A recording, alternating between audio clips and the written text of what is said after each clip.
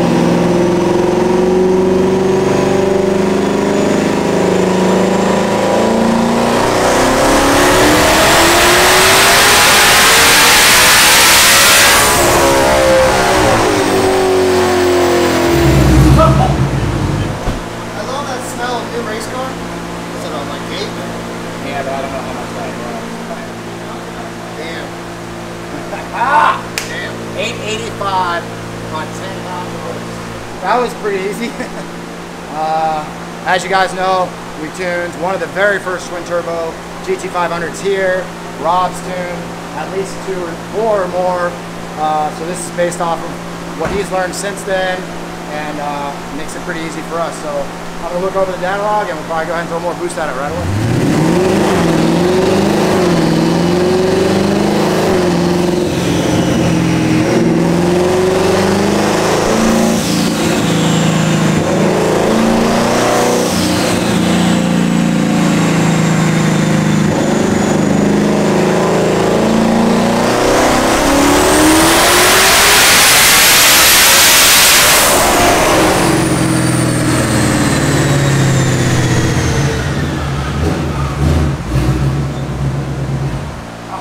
All right.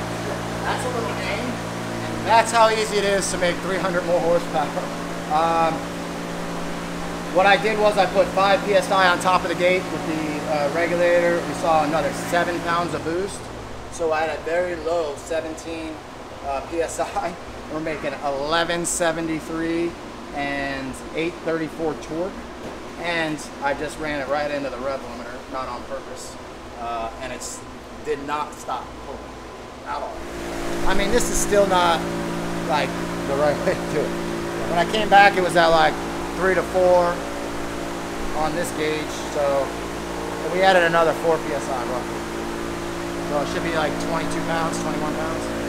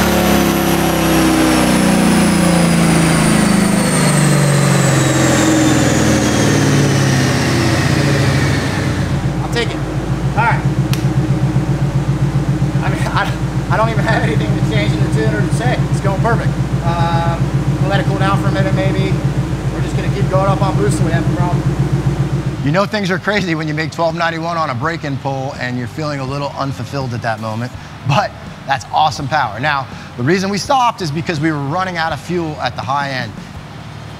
A lot of people are wondering, well, how are you running out of fuel at 1291 horsepower?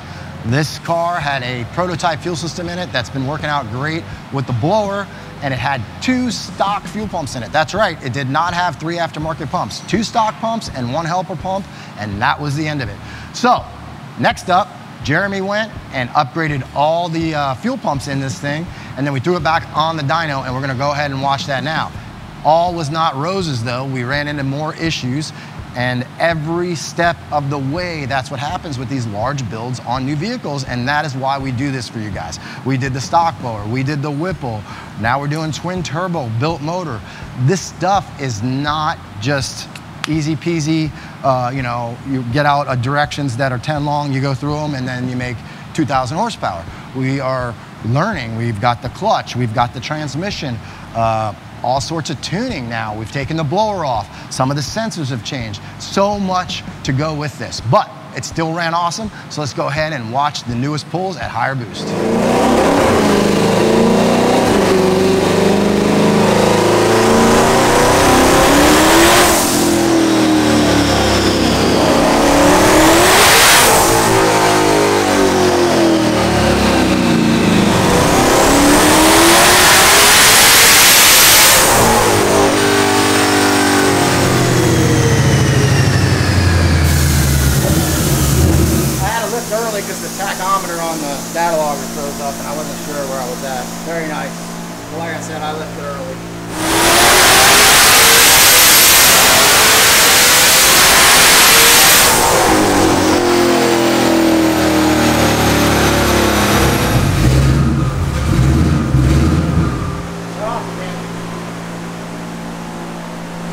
Now it's making a smooth pull. I'm just having problems with the data logger, so we're going to have to fix that before we go any further. Chasing our tail a little bit here um, from our break-in pulls that you guys saw earlier. We put a new fuel system in it, and unfortunately I'm having problems with the data logger. It's freezing up at about 5,000 RPM. If we look at the dyno graph, at the high RPM, it gets really rough. I don't have a data log, so I don't know why, but I'm pretty sure uh, based on what the fuel was saying right as the data log was shutting off that it's just overly rich. Uh, but the guys are checking the plugs right now, gapping them down anyway, and making a few more changes to the tune, and we're gonna try again.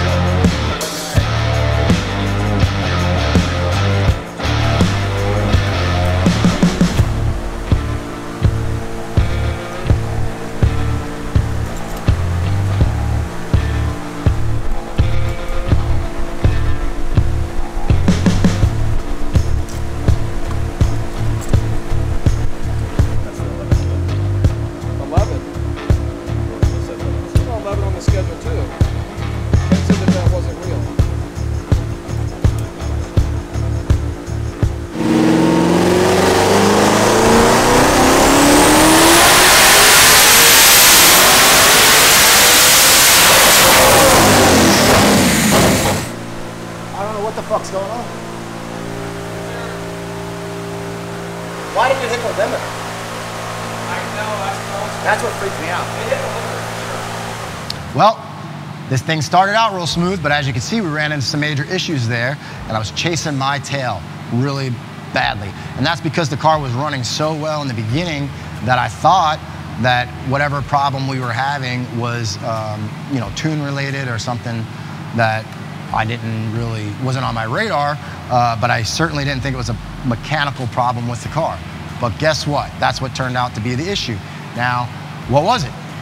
The most important thing on any build is grounds. Now, in this case, we've done a lot of work on this vehicle, a lot of work on the harness, uh, things have moved around.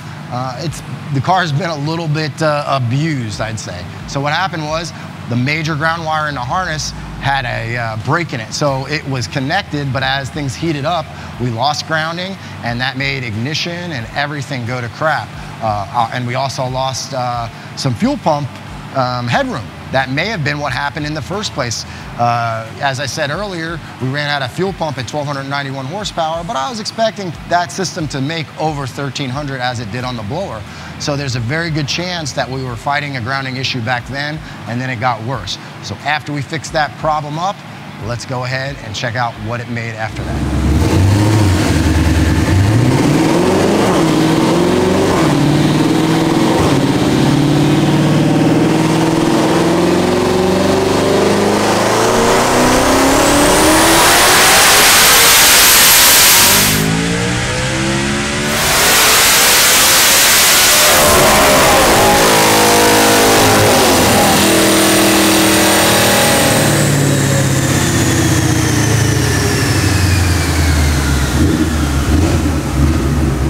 I fixed it. Actually, these guys fixed it. Shit happens when you put a car together new, and shit happened. But it's fucking mint now. 21 pounds, 1320. That's a pretty cool number. And uh, the ramp is good. 900 torque, which is exactly what I was targeting. It's all coming together.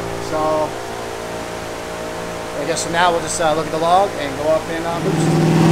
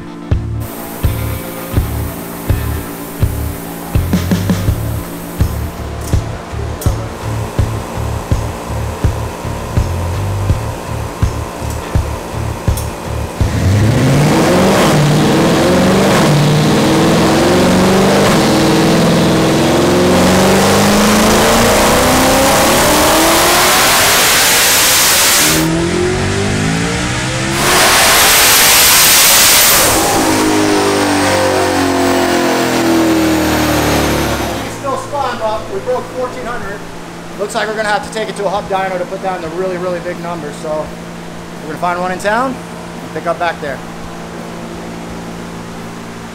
All right, change of plans. This is a really good opportunity for you guys to uh, look into the thought process of somebody who's been doing this 20 years. And I almost made a big mistake by going to the hub dyno. So we canceled that. It is back on our dyno and we're gonna make a pull. But let me explain. So, you know, when we first got the car done, all we wanted to do was break it in. There was no catch can on it, the fuel system, we're redoing everything under the hood. We threw it on the dyno. I don't mind open breathers. I wanna see how the engine's doing new.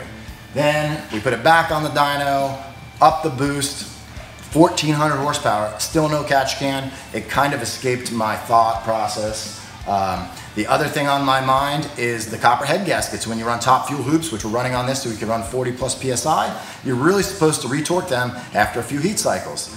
Neither of those were done. I had I came in yesterday morning getting ready for the dyno. We had no catch can.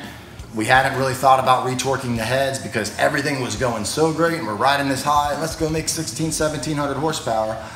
But then I thought to myself, this is exactly when projects take a left turn and you really mess everything up. So, you know, if you look under the hood, there's really nothing done. So for now, we just threw some hoses on the valve covers. You know, the fuel pressure regulator is not even mounted. So we're gonna go ahead and do a couple dyno pulls. What we did change to keep it from spinning is we put some drag radials on the rear. Now, there's other ways to address this. You may have seen people uh, put glue or you know spray glue on the tires. Honestly, I mean that will work, but I don't want to do it. It makes a mess. I don't want it to get all over the car, so we're going to try some drag radials, which overall should lower the power. But if we're not spinning, I'm hoping for a net higher. So I was estimating before with the spin, it was making like maybe 1460. So I'd really like to be, you know, 1440 or higher on these tires. We're gonna give it two shots. At that point, the tires will be real hot. And if we don't get there, we don't get there. Uh, and then we're gonna go ahead, tear down the motor, retorque the head gaskets, uh, do all new fuel lines, and get this thing 100% ready to go. We're gonna take it out on the street for you guys to check it out, and then we'll take it to the hub dyno and see what it does. Anyway, let's do some pulls and see what it makes.